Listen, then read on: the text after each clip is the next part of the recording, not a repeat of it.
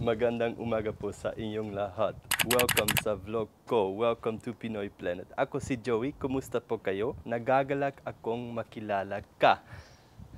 Yeah. If you saw the first vlog of 2022, you noticed that I started to learn more Tagalog, diba? I already finished chapter 1 of the book and now I'm ready to go for chapter 2. So this vlog is gonna be exciting guys because I will make a pandesal dough but first, um, let's make uh, some Dutch food, okay? I'm gonna show you one Dutch meal. So Dutch food is really simple, okay? And what is so nice about Dutch food, uh, we call it stamppot, you know? And I have a bag here. This is um, uh, onions and carrots, okay? Just onions and carrots, okay? Uh, and we call this hutspot. Groenten means vegetables, okay? And then here is uh, pork meat and potatoes.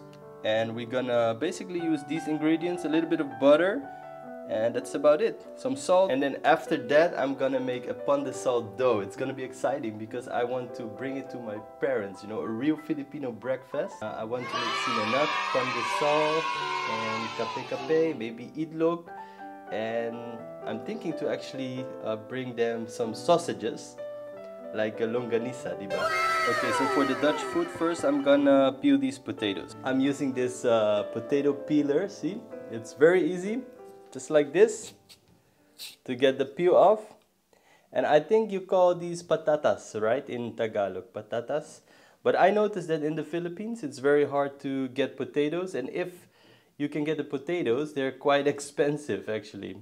Um, so I'm wondering if you can get uh, potatoes easily in your region in the Philippines. So then once uh, the peel is off, I just cut it in a few pieces like that. So now I wash the potatoes a little bit, add some water, and we're gonna add salt, quite a bit of salt. And then let's turn the heat on. Okay. Now this is pork shoulder. It's about 700 grams of pork shoulder. Okay.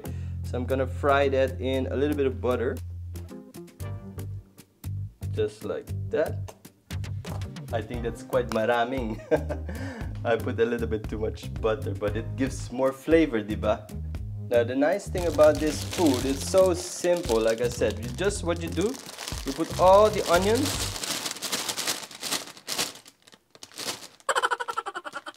lahat let me open that back a little bit more, guys. Ah, that's better, no? So see how easy this is? You just put everything, the lahat, and then you cover, okay? So we fry the pork shoulder in the butter. Now I can only fit three at a time, so I'm gonna put three first and then the other two, okay? I'm very excited for the new vlogs because uh, this is gonna be a continuous vlog, okay?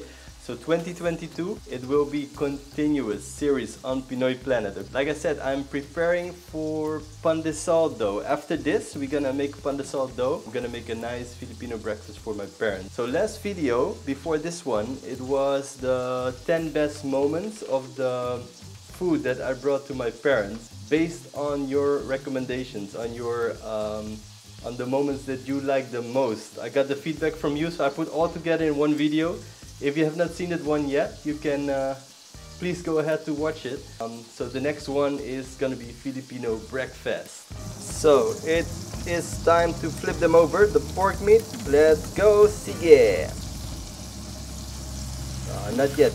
Let me let me put it back because it's still not. Let's wait a little while longer. So flip them around and you see now they're becoming nice and brown, okay?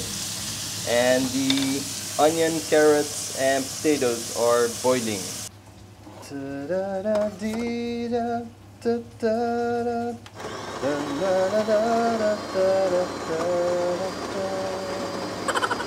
I wish that I could be like that.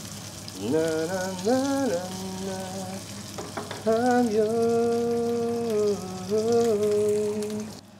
I'm yours.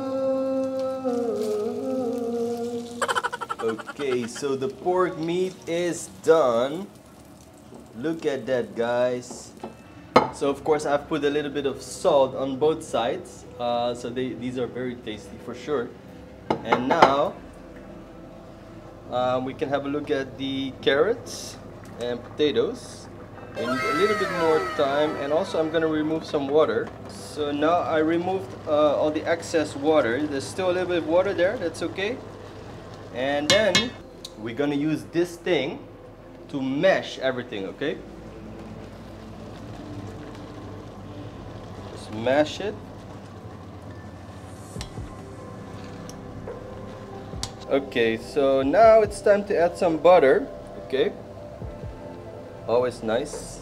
I think about two tablespoons or so.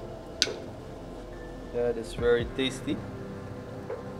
So, and basically that's it. So I just mixed everything, the butter, the potatoes, the carrots, the onions, a little bit of salt. You can also add a little bit of pepper if you like. And then you just put it on a plate with the meat. That's it.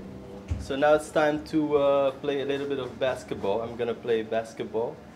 I like to play basketball. So um, the sun is out. Let's do a little game, and then when we come back, I'll uh, try. A few moments later. Whew.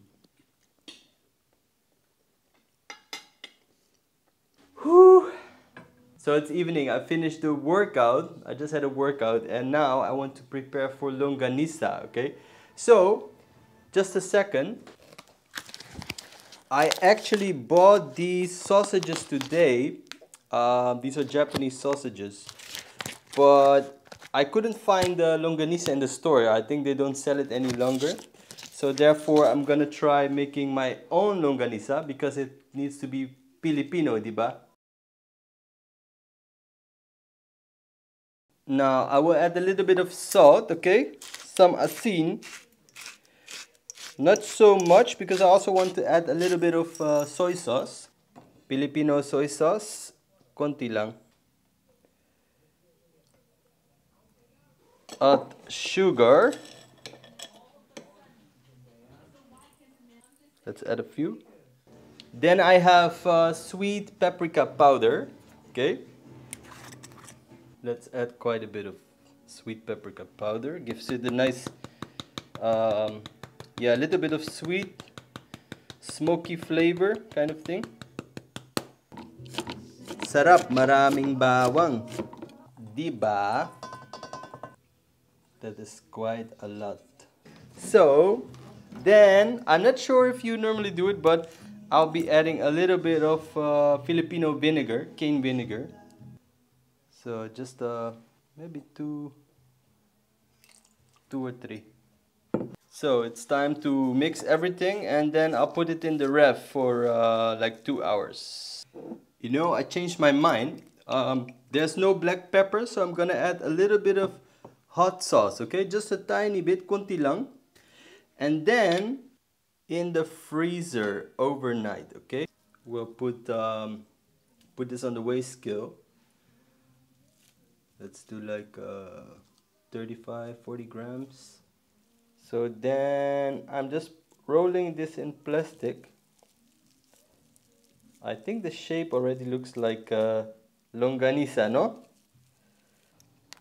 Look, oh, it became many longanisa. And actually, they're all 37 grams, but this one is only 33.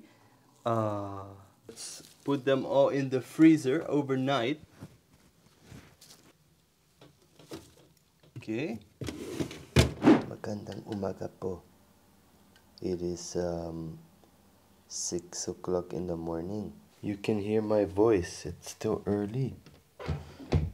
We're gonna make a pandesal dough. But first, first we're gonna take out the longanisa. Ah, here they are. There is Pogi. Pogi, wake me up at 3 o'clock at night. You talaga. So here's a bowl for the longanisa, okay? And here's a bowl for the pandesal dough. I put them in a little bit of water, see? I'm adding approximately 250 ml of milk first. About 55 grams of softened butter. Isang itlog.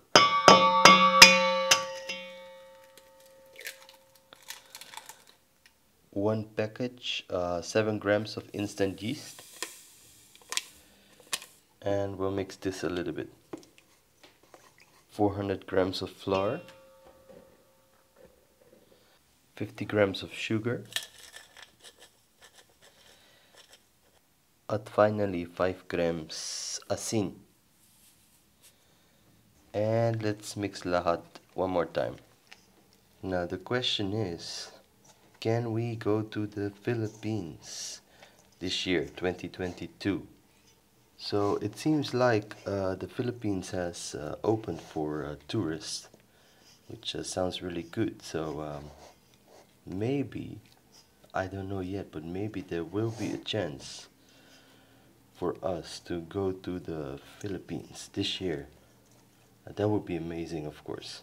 So the dough is needed. Uh, for now, it's enough. So we're gonna leave this for one hour covered, okay?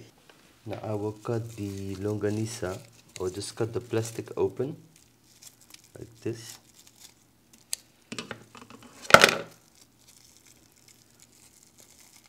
It's already easier to uh, take it out, see?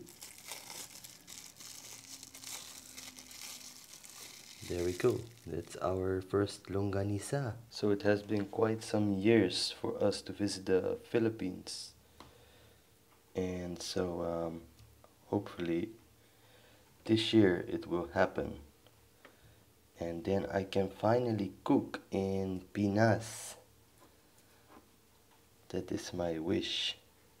So all the um, longanisa, all the longanisa is in. Now let's wait for a while and then after the water has been gone, I'm gonna put a little bit of mantika. Ang bango talaga. I am so curious to my uh, parents' Filipino food reaction. What do you think? Do they look okay? Uh, they really smell very nice and they look pretty good I think. They must be very masarap